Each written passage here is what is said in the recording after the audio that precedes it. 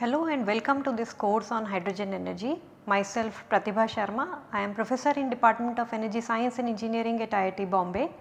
This course is intended to offer for UG, PG, PhD students, faculty from various institutions, industry people who want to learn about the different aspects of hydrogen energy, who want to work in the area of hydrogen energy.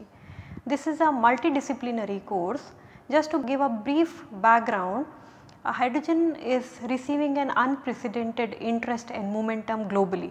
Several countries they have come up with their own strategies, roadmaps, mission documents, pledges and various targets and incentives so as to increase the deployment of hydrogen. Now this is nothing new. Hydrogen has seen some spikes of interest in the past. However, the difference this time is the depth of opportunities and possibilities have been identified which hydrogen can offer. It can offer to decarbonize the various sectors, it can provide a clean, secure and sustainable energy future. Hydrogen is an energy carrier like electricity. However, the major difference is the energy is in the form of a chemical energy and as such we have a lot of flexibility to produce it from various sources, to store it, to transport it. In this course we are going to learn the different aspects of the hydrogen energy value chain.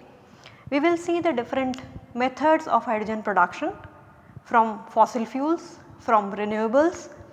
We will go in much more detail on the industrial scale hydrogen production methods. However, we will also learn the methods which are still at laboratory scale or certain prototypes have been demonstrated. We will study the different ways in which we can store hydrogen in compressed liquid or solid state form. We will see how we can transport it from the point of production to the point of utilization through pipelines, through super insulated vessels or tube trailers. We will also see the utilization of hydrogen using different energy conversion devices, fuel cells, IC engines.